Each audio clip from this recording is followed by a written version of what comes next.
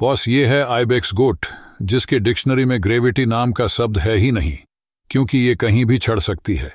ये बकरी की प्रजाति 90 डिग्री के दीवारों और पहाड़ों पर आसानी से चली जाती है।